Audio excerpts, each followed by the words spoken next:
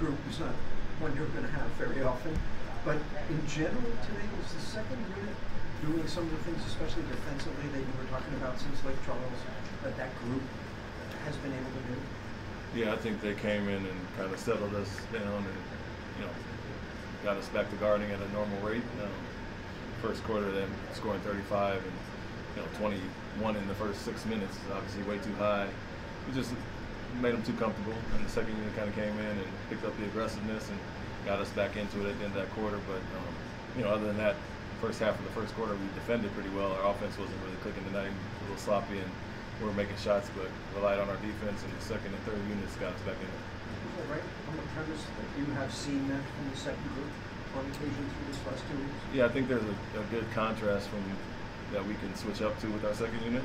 Um, you know, we got a lot of uh, similar sized bodies that can get out and switch and be a little more aggressive on the perimeter, and I think they did that when they came in. But um, you know, we're going to have a better start, obviously, with our first first group of starters, and and whether shots are falling or not, we got to rely on our defense a little bit better than we did in the first quarter. How do you think the refs kind of impacted the flow of this game? It felt like there was some kind of chippiness going on on both sides a little bit.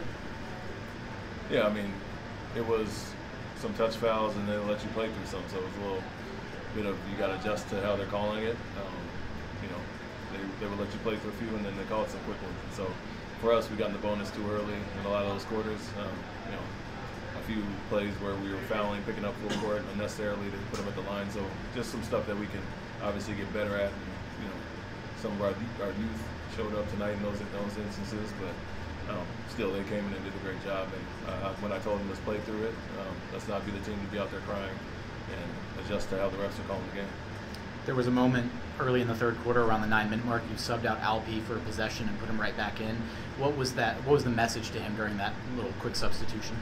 You know, slow down and let you know, take a deep breath and let the game come to you. He was rushing the shots. Um, so one of his switches, he was way too aggressive on a non-shooter. He jumped out when uh, Keldon Johnson got the split to the basket for the dunk, and so you know, just wanted to get him out and tell him to calm down. And you know, he missed a few passes on the offensive end, so sometimes it's good to get a guy out and get their, get their attention and get him right back in. So um, just wanted to get his attention there, really sit there and talk to him for a second, and got him right back in for Jeff.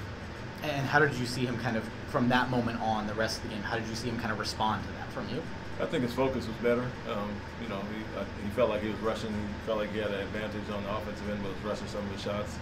And for, for me, what I told him was, with the rest of the group, is when your offense isn't flowing, you got to find other ways to impact the game. And, you know, still do it on the defensive end, not let shots dictate you know, the rest of your game. So, you know, I felt like a few guys did that tonight. You know, guys were missing some shots, Jabari as well, and, and they still got to continue to play through those. It, oh, sorry, I have one more. Let's go. Uh, it felt like Zach Collins kind of got to whatever he wanted to tonight at, certain points. Is that just an unfortunate side effect of, of, leaning so heavily into a switch everything scheme, or was it specific issues in how guys were switching or not sending a second man to him, that kind of stuff? No, it was, there's going to be residuals from, from switching, and, and obviously there'll be some cross matches, but we feel comfortable with our big wings guarding a lot of posts in the league, but we don't want to just stand behind a guy when he has two feet in the paint. You know, we worked on post defense and getting around, make him throw a lob pass, and fight him off the block. And uh, that's what I showed three clips at halftime of him just getting guys and burying them under the basket. Any any big in the league when they have two feet in the paint can take a one dribble hook shot is going to make you pay. And so our, our coverage was so more so poor in that.